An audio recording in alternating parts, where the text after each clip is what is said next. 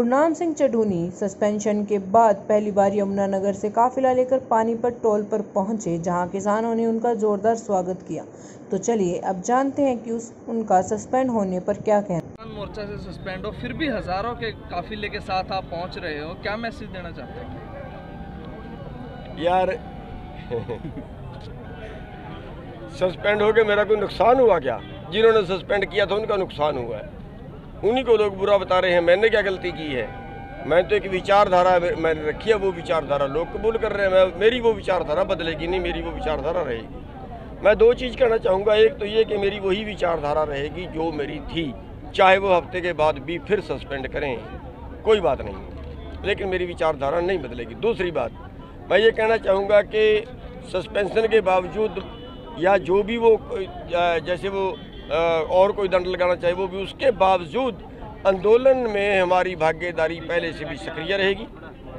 आप देख रहे हैं हम इसी सस्पेंशन के दौरान उत्तराखंड में गए हैं वहाँ के लोगों को यहाँ के लिए प्रेरित करके आए और आज यमुनानगर से आ, हज़ारों गाड़ी का काफिला है जो आज लेके सिंगू बॉर्डर पर जा रहे हैं। तो हमारा इसमें जो सक्रियता है वो लगातार जारी रहेगी और जैसा संयुक्त मोर्चा आदेश करता रहेगा।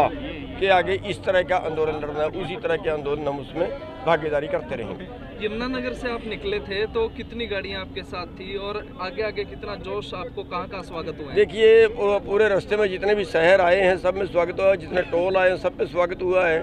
और लोगों के अंदर एक जोश और आक्रोश दोनों चीज़ों का मिश्रण है। जोश वही है लड़ने का जो आठ महीने पहले था और आक्रोश जो है वो पहले से बढ़ गया है। जो बीजेपी के लिए खतरे की घंटी है। चन्नू जी एक बार फिर से कृषि मंत्री ने पेशकश की है किसानों से बात करने को। तो उसने किसानों से पेश करने की बात पेशकश करने की कोई नहीं की है उसने किसानों से टिक्चर की है। टिक्चर की है जो बार बार वो करता है। वो कहता है कानून तो अच्छे हैं किसान मान नहीं रहे किसान बता नहीं रहे किसानों की समझ में नहीं आ रही। हम ये कहते हैं कि आठ बार ग्यारह बार उन्होंने मीटिंग की। और 11 बार में वो कुछ नहीं बता पाए कि ये कानून किसानों के फ़ायदे में कैसे हैं। इनसे किसान अमीर कैसे होगा? और आज हम आपकी मीडिया के माध्यम से फिर सवाल करते हैं उनसे कि अगर उनके पास, उनके किसी वैज्ञानिक के पास, उनके प्रधानमंत्री के पास, किसी के पास अगर हमारी बात का जवाब है तो वो कृपया हमें सीधे नहीं बता सकते। तो मीडिया के माध्यम से बता दें कि इन कानूनों से किसान अमीर कैसे होगा? कुछ लोगों ने कल रोड जाम किया और कहा कि गुरनाम सिंह चड्रोनी और राकेश टिकैत हरियाणा को आग लगाना चाहते हैं। मेरे को तो पता नहीं वो कौन सा माजी का लाल जाम किया जिसने रोड जाम किया है। और अगर किया होगा कि हरियाणा को आग लगाना चाहते हैं तो हम तो आग बुझाना चाहते हैं जो किसानों के घरों में लगी हुई है।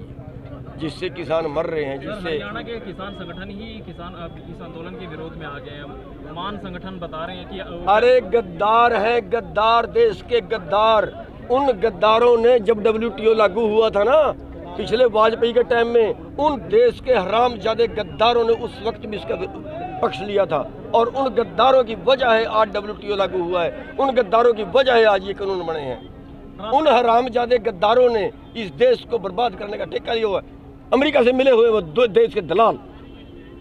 गुरनाम जी एक बागवानी गाँव है वहाँ पर आपके बैनर लगवा रखे हैं कि भाई आपको गाँव में घुसने ना दिया उन्हीं देश के गद्दारों का है उन्हीं देश के गद्दारों का है उन्हीं देश के गद्दारों का है जो अमेरिका के दलाल उस उस वक्त में ये पंजाब का भूपिंदर मान वगैरह है ना ये देश के गद्दार जो फिर इस सरकार ने उसमें कमेटी में बनाए थे।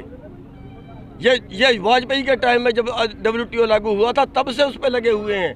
इन गद्दारों की वजह से आज मर रहा है देश का किसान। मैं कहता हूँ जहाँ देश में घुस जाए ना ये इनको पकड़ के इनकी इनकी मरम्मत करनी चाहिए लोगों को। संघर्ष करो! ताज़ा अपडेट्स व बड़ी खबरों के लिए सब्सक्राइब करें आज प्रकाश टीवी और बेल आइकन दबाना न भूलें।